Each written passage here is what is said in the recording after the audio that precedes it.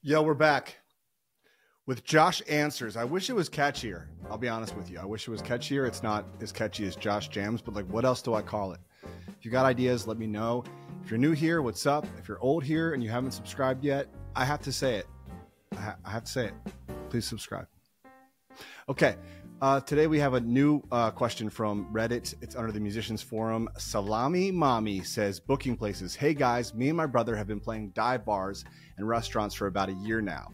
I feel like sometimes we still have some trouble getting in some places and back in some that we've played before, even though the crowds loved us. It seems often I'll get a restaurant that won't message us back, which I understand they're trying to run their business. In ways that makes you feel like I suck or don't so great or don't so great, even though tip wise and crowd wise we do well. Does anyone have any encouragement or tips to help us get in more places? Let's go. I do. It's your old buddy Josh James. What's up?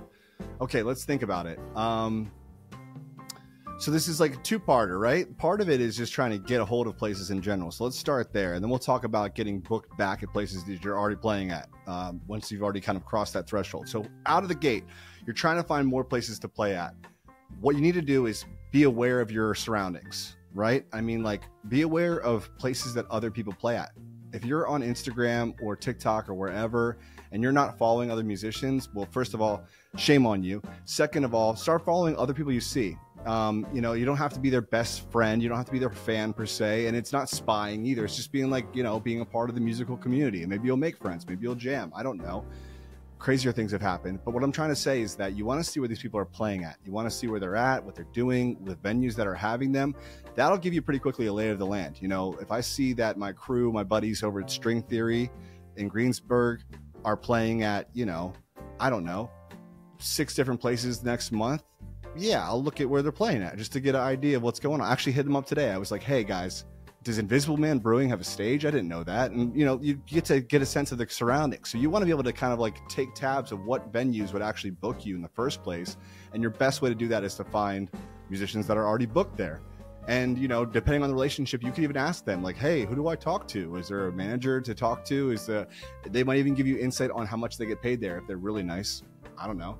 Um, once you do that and at least establish the fact that there's a venue that has bands, go there, go in person. Even better, go on a night that a musician's performing. That way you get a twofer. They get to see that you're out supporting the community and you'll be able to go to the venue and ask, hey, uh, who booked this band today? They're great. I'll be like, oh, that was Sally in the back. Oh, can I say th- thank you to Sally for this band? Hey, Sally, by the way, while I'm here, I play too. This place is awesome. Can I send you some of my stuff? Sure. Bing, bang, boom. All right, I'm going to email you tomorrow, Sally. Does that sound good? Create a date.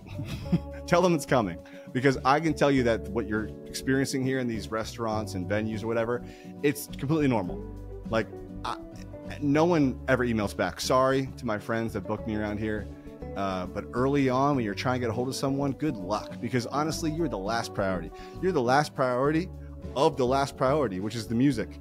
They care about their staff, the food. Are they making the money? Is the beer selling right? What, is the liquor sales going well? How many shots are left in the bottle? Are we overpouring customers? You think they give a crap about the musician that's saying, "Hey, can I play here on the weekend?" That sounds great. No. But if you understand that, then you won't feel so bad reaching out again and again and again and again. And sometimes you have to. And I will tell you that this is probably a video for another day.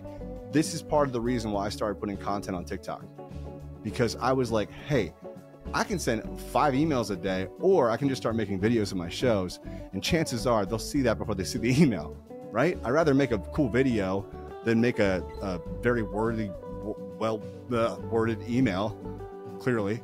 So that's what I'm trying to say is that get out there, make some content, and hopefully that'll be a way for you to get a hold of these people. So get a hold of them, you track them down, you finally play a show there. And then the second part of this question is you play the show, you think it's going well, people are vibing out I don't know. Maybe they're dancing. They're throwing money in the tip jar, right? You're saying it, it, it, went well, right? The first thing I got to say, this is a caveat, don't get mad at me. Did it really go well?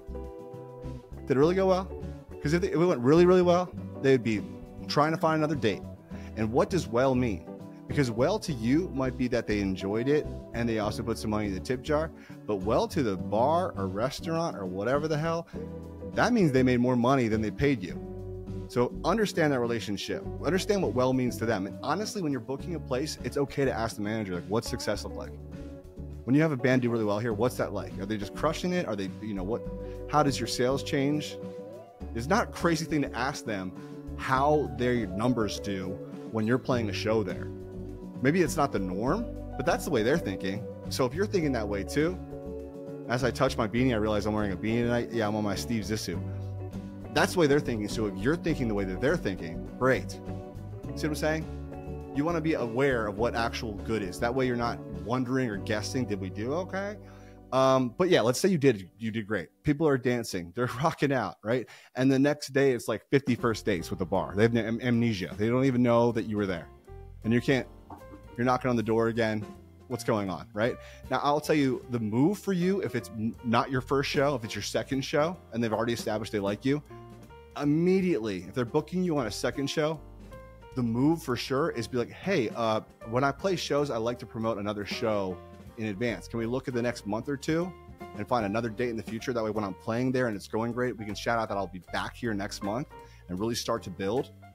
Great move. Booking shows in advance, not just one offs, right?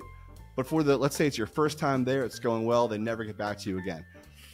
It happens, you know, back to my first point. Maybe didn't go great for them. Maybe they just didn't like the music you were playing. There's one time we played at this place, my band back in the day and the manager's just like, uh, the owner doesn't like that song, so don't play it. Okay, I didn't realize he didn't like that Bob Marley song. I'll let you guess which one it was. Guess in the comments which Bob Marley song he didn't like. Uh, but that's the point is that you just never really know. So that if, if it is, you, you did your best and they just for some reason are not having you back, the last piece of the puzzle that I'll definitely encourage you to do, and I need to do it myself more. I'm not the best at this, but this is the idea behind taking contacts down when you play a show. And I've been getting better and better at converting people to my Instagram by just shouting it out. But like the good thing, the move, the right move, the correct move is to get their email address. Because what is happening is you're playing a one off show, right? You play there once, they never get back to you. It goes well for that crowd, but that crowd has no idea how to find you again. And you're not playing that venue again. And so what you have to do is build this community of people that can support you. That way, when you go to restaurant and say, hey, I have a mailing list of 500 people that when I hit them up and say I'm playing at Bellaterra this weekend, they're coming. That's the move. Also, what it does is that when they don't get back to you, you don't lose that crowd to that venue. They're coming with you, right? Like those people are going to come to the next place you get once you finally book the spot. So the thing is, like, you're doing all this work anyways you're booking the shows. It, you, there's stuff that's out of your control. They're going to have you back. Are they not? I don't know. But if you put the things that are, are in control of yours into control, one, be in the community, be aware, ask, meet people. Even if you're not trying to book a show right now, still meet the booking manager. When you play the show, make sure you understand what success is. And lastly, is that when you have a crowd rocking, capture that crowd's contact information. So when you leave there and the venue does whatever the hell, you can take them with you. And by the way, if you go to joshjams.com, I do have a mailing list. It's somewhere on there. I got to update my website. I have to do it too. Listen, if this was helpful, let me know in the comments. It's been another episode of Josh Answers. Let me know a better name if you have one too. Again, subscribe. Uh, and I'll see you next time. Bye bye.